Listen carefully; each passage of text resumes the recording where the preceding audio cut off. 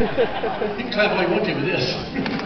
This is, this is, uh, this is Monty Python, or Julius Squeezer, whatever you want to call it.